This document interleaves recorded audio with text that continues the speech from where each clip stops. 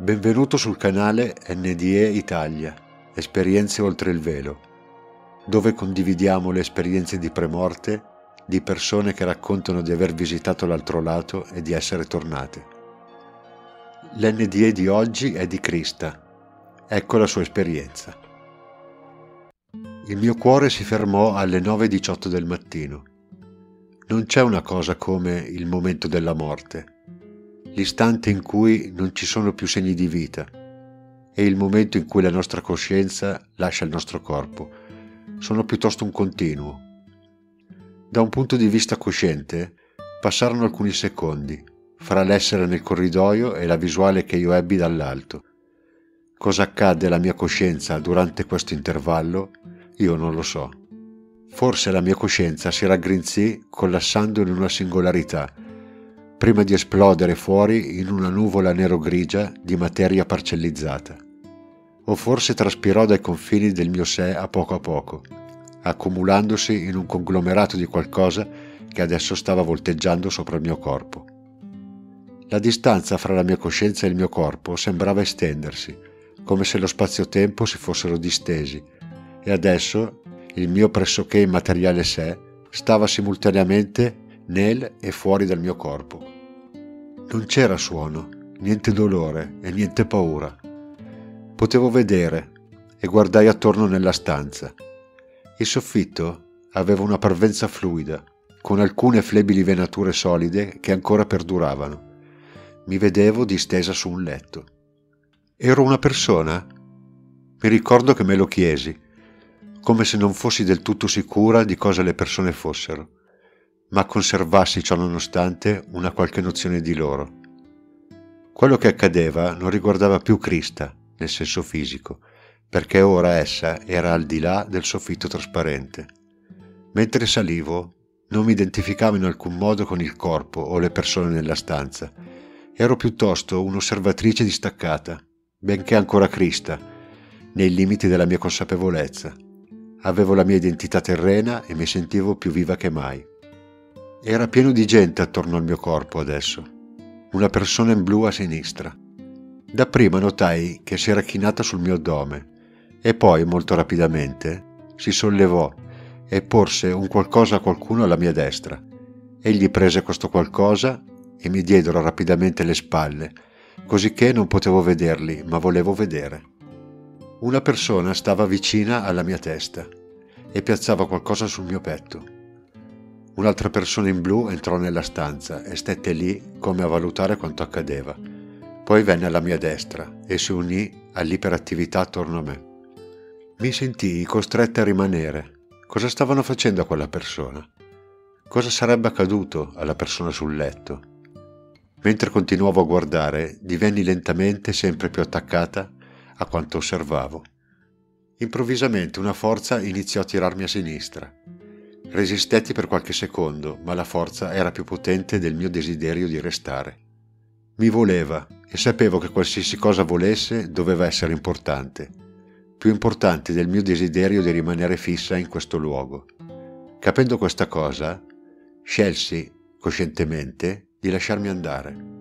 Nell'istante in cui questa decisione fu presa, iniziai a muovermi a velocità spaventosa attraverso qualcosa che potrei solo definire come uno spazio blandamente delimitato di materia semifluida. Era immenso e piccolissimo allo stesso tempo. Sentivo come se potesse in qualsiasi momento o esplodere o collassare intorno a me. Nessuna definizione esisteva fra la mia coscienza e quella delle sue pareti, che erano composte di tale fluido come un flusso di energia Mentre volavano in avanti, venivo interfusa da questa energia e più proseguivo, più mi sentivo permeata da un indefinibile, irrefutabile, sconfinato amore. Questo amore ed io eravamo interdipendenti. Nessun punto di separazione esisteva, eravamo l'un l'altro. Che beatitudine! Non c'era dolore, non c'era ansia, non c'era paura.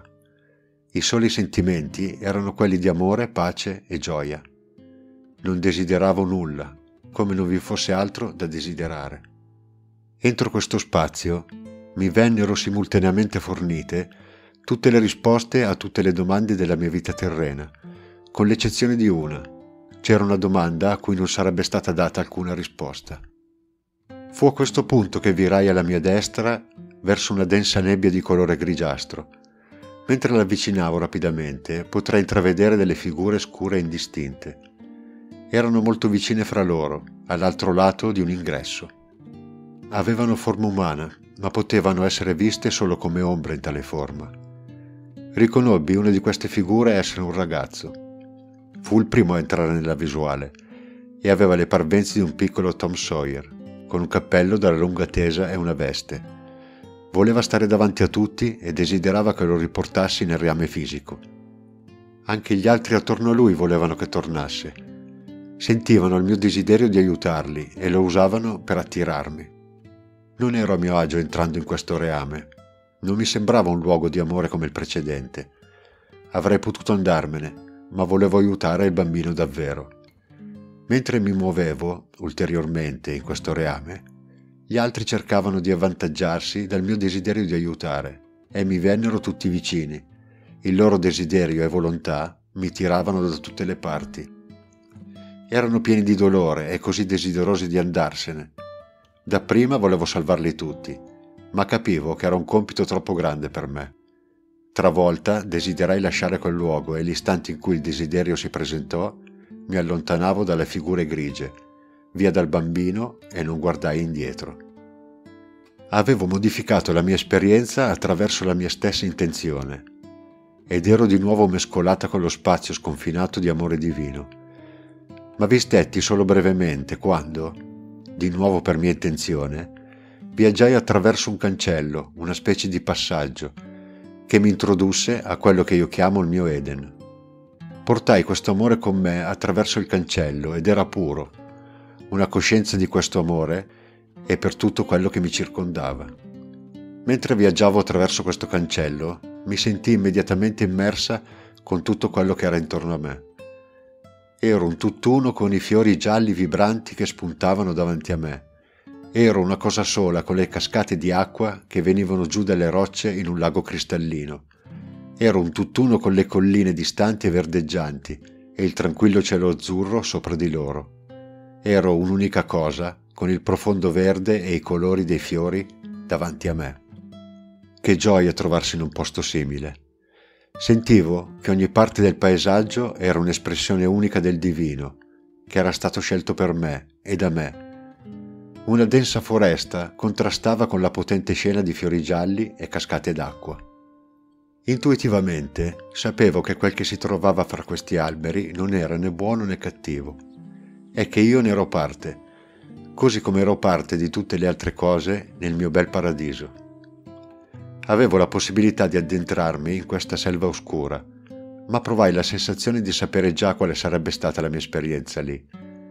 Invece scelsi di restare dov'ero. Non volevo sperimentare altro che bellezza, nonostante la foresta avesse una sua bellezza. Poi, dall'amore che era al tempo stesso dentro e attorno a me, mi venne comunicato che dovevo operare una scelta, fra tre. Uno, entrare nella foresta, ma avevo già respinto quella ipotesi. La seconda scelta era di continuare nella realtà che mi attorniava adesso. E la terza era di tornare nel mio corpo e riprendere la vita che avevo lasciato. Tuttavia, se avessi scelto quest'ultima cosa, avrei dovuto far fruttificare questa mia esperienza rendendomi di servizio agli altri. Guardai la bellezza attorno a me e ancora una volta ne sentii la enormità, l'amore, la pace e l'unità. Il mio battito cardiaco ritornò alle 9.26 del mattino.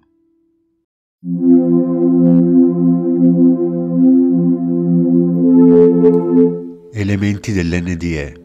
Domande a Crista. Al momento dell'esperienza, la tua vita era in pericolo? credo sia stata messa in pericolo da un embolo dovuto al liquido amniotico.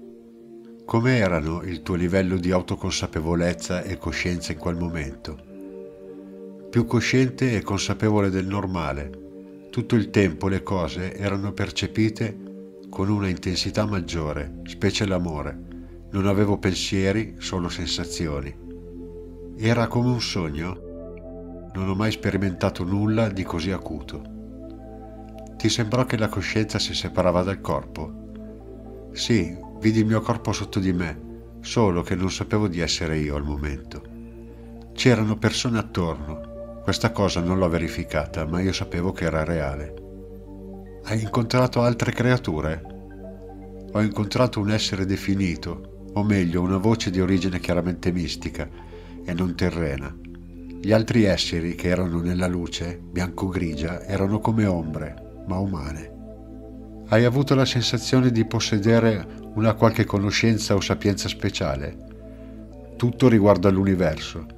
Tutte le domande che avevo nella mia vita terrena ebbero risposta simultanea. Hai avuto l'impressione di avere cognizioni o scopi speciali? Sì, che tutto è amore e che dobbiamo diventarne consapevoli e vivere nell'amore. La tua vita o le tue credenze sono cambiate dopo questa esperienza. Ampie modifiche della mia vita. Non appena tornai, la vita prese un'energia tutta nuova.